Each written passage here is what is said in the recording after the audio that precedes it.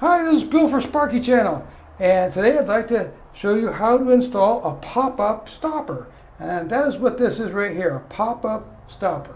And this is a bathroom sink, and so the pop-up stopper goes in here, and I'm going to show you how to properly connect it.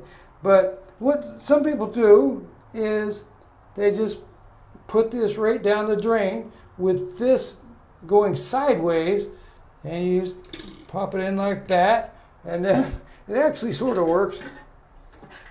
It doesn't work very well, but it will work that way. You just put it in sideways like that, and it kind of works. One advantage to this sideways installation technique is that it makes for easier cleaning of the tailpiece area of the drain. But I'm going to show you how to put it in like this and hook it up to all the various parts here. And when it's properly adjusted, it will close with a, a little more force so that it will hold the water longer when you're shaving or doing whatever you're doing.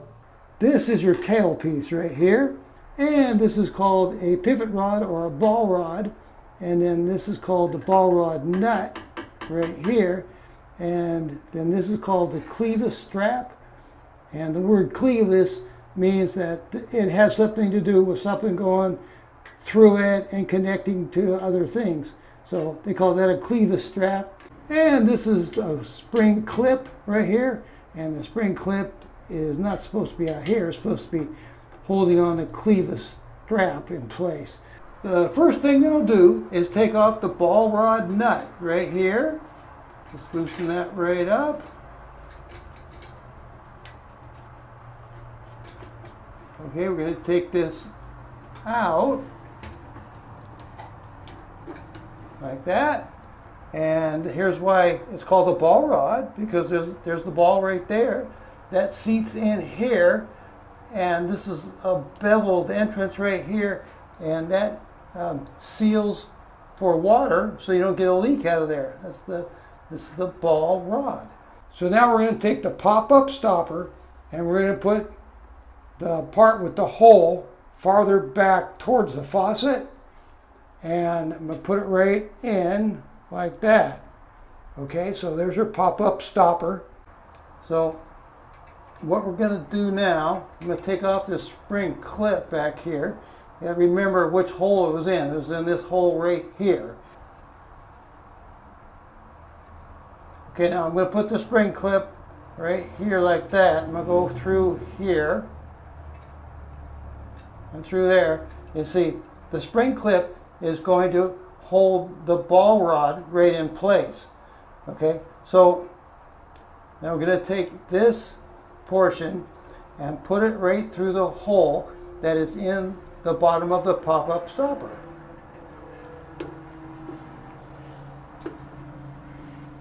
Sometimes it's a little hard to do because you're banging up against the wall, but you can get it. Okay.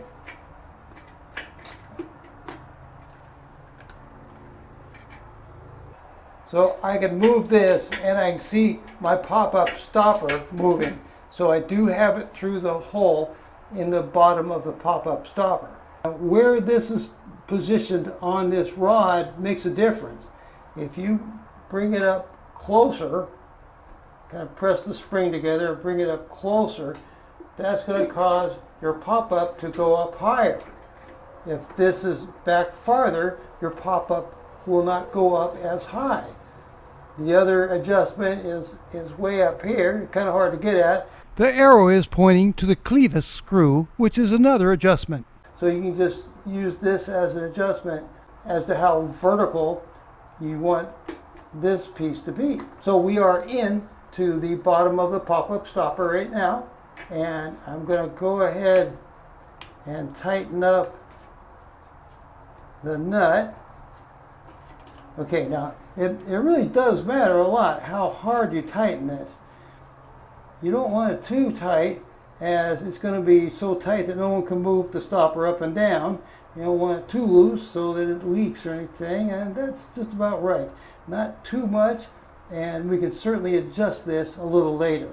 So this is stable right now because it's held in place by the spring clip, and this is tightened on, and so let's try it out. So the pop-up stopper is in the up position right now.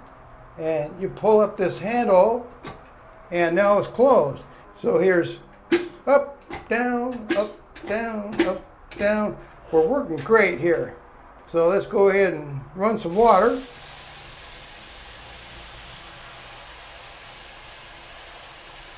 You see it's, it's holding the water pretty well.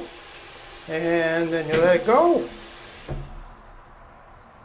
And there goes the water. Now always check down here for a leak. And we don't have any leak.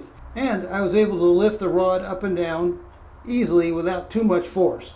Here's a drawing that shows the spring clip installed differently from the way that I installed it in the video. I installed it so that the spring clip surrounds the clevis strap and secures it where it is. I feel that that keeps your pop-up stopper going up and down the same distance each time. I feel that if you have your clevis strap loose like that, your clevis strap can move around and that will change the distance of the throw for your pop-up stopper. So let me know in the comment section what you guys think. Do you guys have some tips for everyone else? I love tips. I learn things myself, and other viewers can read the comments and learn from them as well. I'll put a link in my video description for the Moen Adler bath faucet, which is the one seen in the video, and it does come with the drain and the pop-up stopper and the various hardware that comes with it. Thanks. I hope this video was helpful.